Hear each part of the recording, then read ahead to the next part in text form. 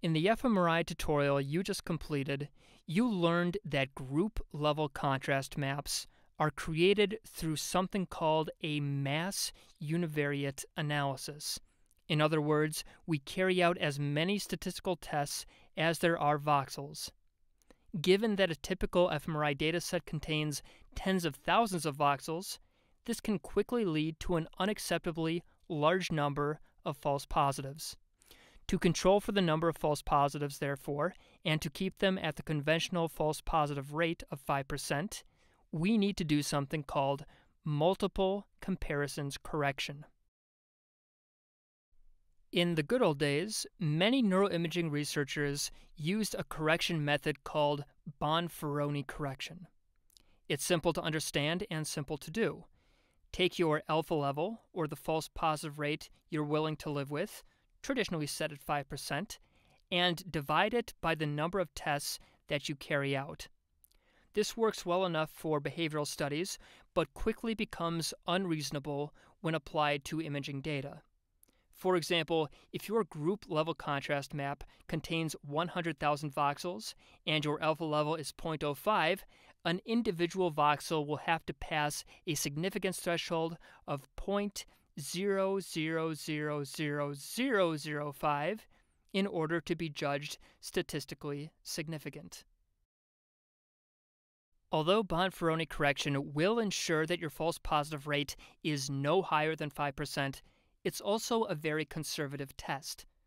Bonferroni correction is valid only when each test is independent. To take our fMRI dataset again as an example, that would mean each voxel is completely independent of every other voxel in the brain. Knowing the value of one voxel doesn't tell you anything about any other voxel. But are the voxels completely independent? Let's take a look at a typical fMRI image. If we zoom in, notice that a given voxel is similar to its neighbors. Bright voxels tend to be surrounded by brighter voxels, and darker voxels tend to be surrounded by darker voxels. Since we can make a reasonably accurate guess about what the signal intensity will look like for a given voxel, given its neighbors, the voxels are not completely independent. Bonferroni correction, then, is too severe. Although it virtually guarantees to keep your false positive rate below 5%, it will also probably lead to a high false negative rate. That is, you'll probably conclude that no effect exists when there actually is one. An alternative is cluster correction which is the most popular correction method in fMRI analysis. Cluster correction takes advantage of the fact that the voxels in a typical dataset are not completely independent. Instead of testing each voxel individually, clusters of voxels are tested for significance. To illustrate this, let's take a coronal slice from the group level incongruent minus congruent contrast you created in the fMRI tutorial. Notice how the brighter colors can be grouped into distinct clusters. If we look at this from a different angle, we can think of the clusters of voxels as mountain ranges. The height of an individual voxel is determined by its z value, and higher z values lead to higher peaks. The threshold that we apply is a cross section through the mountains at a certain height. For example, a z-value of 3.1, corresponding to a p-value of 0.001, and we only observe the peaks that remain after applying this threshold.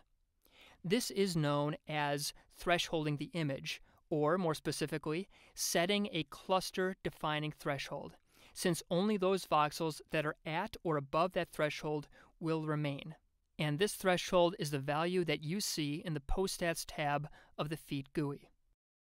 You may think that's all we need to do, and as far as entering numbers into the FEAT GUI, it is. But there's an additional hidden step happening after you press the Go button that you should know about. Remember that a cluster defining threshold is not the same as an alpha level.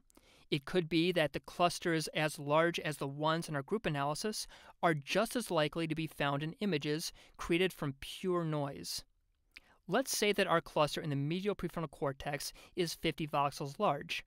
What we need to ask ourselves now is how often would we expect a cluster of that size to appear due to chance? To answer this, we run simulations. In other words, we create artificial data sets with the same dimensions and smoothness as our task data set, but which are composed of pure noise.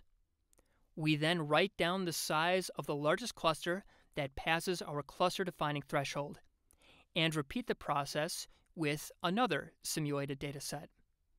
If we do this thousands and thousands of times, we can create a distribution of maximum cluster sizes. And from this distribution, we can calculate the percentage of the time we would observe a cluster as large as the one we generated from our task dataset. If that percentage is lower than our alpha level of 5%, we can reject the null hypothesis for that cluster. And these are the clusters that are automatically generated by FSL and stored in the images with the thresh prefix. Afterwards, all that's left for you to do is publish that paper, go home, put some Hot Pockets in the microwave, and then watch your favorite Counter Strike 1.6 demos. Because, as we all know, Global Offensive just isn't that good. Ladies, am I right?